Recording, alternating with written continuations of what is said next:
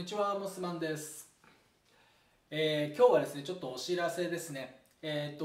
この僕のチャンネルなんですが、えー、おかげさまをもちまして8月の末からですね、え、チャンネル登録者数1000人そして、え、総再生時間が12ヶ月で4000時間を超えまして、え現在収益化という形でね広告を出すことができるようになっています。で僕はですね、まあ、この収益化にあたりましてうんこういただいたお金をねどうしようかなっていうふうにねこう考えてきたわけなんですが、えー、まあ僕のねそのなんかレジャーに使ってしまうのもそれもまあなんだなと。正直うと言って詐欺とってですねんなんかこういい使い方がですね流用の仕方がこう思いつかずにいたんですが、えー、今回ですね今これ収録時点で9月の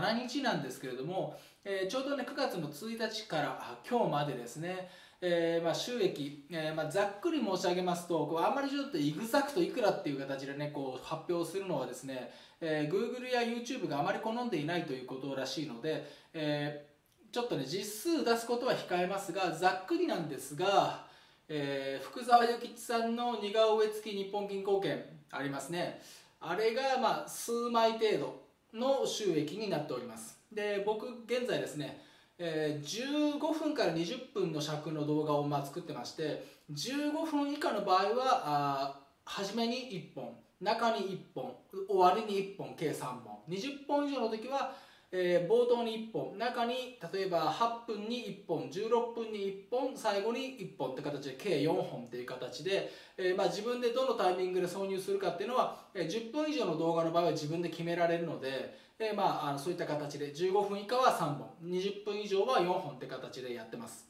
なのでまあそうですね広告が多いって感じる方もいらっしゃるかもしれませんがあの広告をですねえー、入れないことには、まあ、お金が生まれないわけでその全ての活動がですねまあ言ってみたらビジネスにつながっているっていうのが、まあ、理想的な状況なわけでね。あのこれからの、まあ、お金の稼ぎ方の、まあ、一つの姿かなと思ってましてこれから僕も、えー、もう少し、ね、動画をですね本数増やしてチャンネル登録者数が増えていくごとにですねおそらく1ヶ月あたりの収益というのは、えー、まあ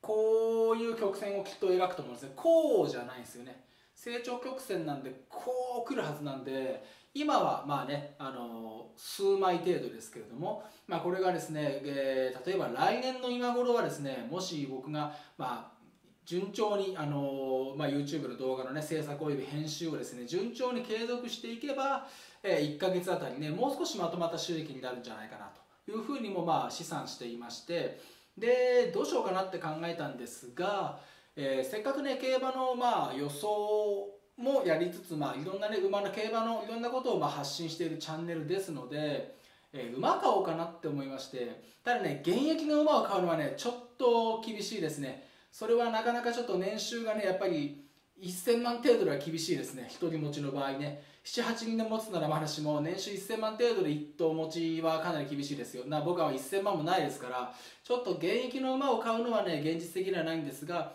繁殖牝馬であればあそうでもない。正直言って繁殖牝馬あのお腹に子供が入った状態で放牧出しておくだけであれば現役の馬を厩舎に預けるよりねだいぶまあ負担は楽なのでうんなのでですね今考えてるのが本体代金3万ドル300万円を目標にまあちょっとこのチャンネルね運営していこうかなっていうふうに今考えてます。で US ドルって3万ドルなんでうん例えば円ですと320万円ぐらいになるんですかね、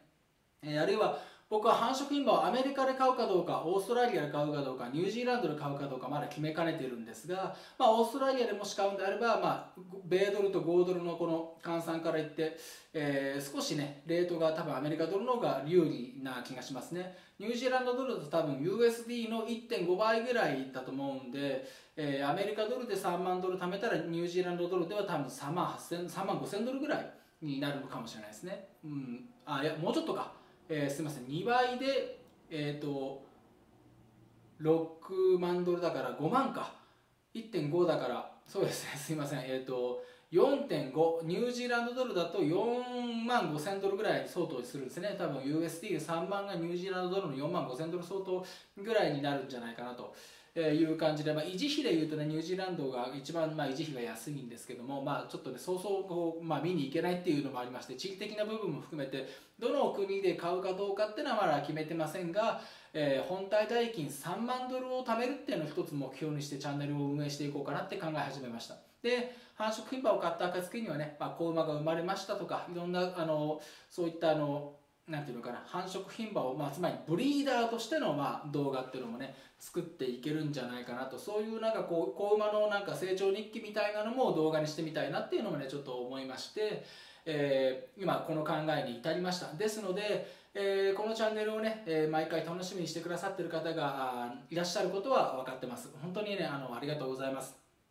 あの特にね絵的に何か面白いわけがあるわけでもないちょっと地味なチャンネル内容になってるんですがそれでもね最後まで毎回動画を見てくださってる方がいるっていうのはアナリティクスのねあの統計であの分かっております、えー、正直僕の15分の尺の、えー、動画に対して平均して 50%7 分8分ぐらいの視聴視聴になってるんですね。全体で、まあ、見て10秒で離脱する人もいれば最後まで見てくださる方もいるわけでアベレージで50%超えてるんですね。でこれって結構いい数値なんだそうです。あの結構トップの YouTuber さんでも30%かその辺が結構いいとこだそうでして僕の場合、まあ、チャンネル視聴数はねまだ1万回もいかないですが、まあ、1回で約1000回再生なわけなんですが、えー、それでもね熱心にこう最後まで見てくださってる方がね多いせいで一撃離脱で去っていく方もいれば最後まで見てくださってる方もいる中でアベレージ50%超えっていうのは大変あの優秀な数字なんだそうです。でここの再生時間っていうのを YouTube は結構評価してくるそうなので優秀な動画を上げている YouTuber の動画っていうのは関連動画で上がりやすかったりあるいは YouTube の、まあ、おすすめ動画に出やすかったりって形でね YouTube 側が結構プッシュしてくれるっていう仕組みなのもあの最近勉強で分かりました。なので、えー、まあ一動画ずつねあの、まあ、そんなに毎日毎日ね何個も何個も作れないんですが、えー、なるべくねこう優秀あ、まあ、秀逸な内容、まあ、聞くに値するってことですよね。映像的には地味でつまんないこんなねあのアラフォーのおじさんが喋ってるだけなんですけれども、えー、まあ聞くに値するそういったまああの面白い面白いというかまああのそうですね。まあ今回も、まあ、なかなか面白い内容だったなって思っていただけるような動画をね、えー、作るように心がけていきたいと思います。そうすることでねおそらく、えー、馬の購入本体代金3万ドルっていうのは、えーまあ、何年かはかかるかもしれませんが達成不可能な数字でもないかなっていうふうに、えー、今ちょっとうっすらそんなふうに思ってる次第です。でね、あのもし買った暁にはですね例えばうんそうですね YouTube で例えば僕と一緒に10%の権利をねあのシェアしてもらえませんかっていうようなね10%のバイバックあるいはその持ち株比率で僕が51%持って残りの49%を買い取ってもらうとかねそういったこともまあできなくもないので、うん、あの一口馬主クラブと決定的に違うのはあの繁殖牝馬っていうのはずっとあの子供を産んでいくのでねそのまあいわばどの種馬をつけるとかいうような話から言ってやはりこう馬を売るの売らないのとかね自分で所有するのっていうような、まあ、そういったところが、まあ、あのやっぱりブリーダーの醍醐味なわけで、えー、たったあ例えば10% 1%でもね1%で募集するか分かりませんが1%でも所有していただければあのブリーダーのところにねあのお名前が載るってことですよね。そういう感じで、えー、ちょっとねだいぶ先に先のことになるかもですが、まあ、そういったちょっとね目的意識を持ってこのチャンネルを運営していって皆さんがこうご視聴いただいて、まあ、3本なり4本なり、えー、広告挟みます。でそれをご覧になっていただいて少しずつ集まったお金をこう繁殖牝馬を購入するっていう形で運用していこうかなっていうふうに考えてます。そしてまたこのチャンネルの中でですねちょっと試験的にベイビーメタル見に行ったよ的な動画を作ったんですが、え、今後はですね僕がまあアメリカでこんな生活していますよあれあるいはアメリカの都市こんなところ旅行行きましたよとかいうようなねそういったまああの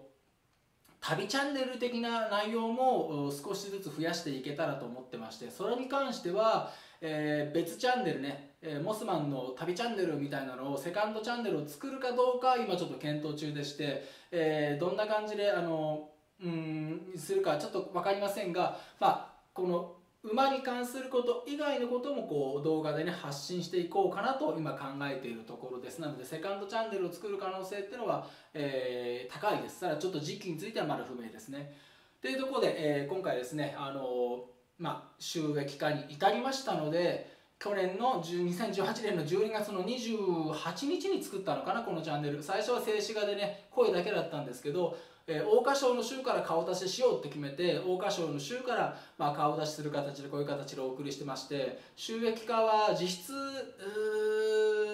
5678だから4ヶ月ですね。4ヶ月間でチャンネル登録者数およそ1000人ってことであのこれ早いか遅いか分かりませんけれどもとにかくあのはっきり言って誰かに見てもらおう聞いてもらおうっていうつもりで始めたチャンネルではないんですね。自分でなんか独り言ボソボソ言うくらいだったらなんか YouTube にこうなんか音声だけでも残して自分の中日記代わりにねあの始めたあの本当に何気なく始めたチャンネルなんですね。なのでまさか1000人もの方から登録いただけるとは始めた当初はですね夢にも思ってませんでしたし、えー、こんなにたくさんねこうコメントをいただけるようになるとも思っていませんでしたのであの正直びっくりしておりますが、え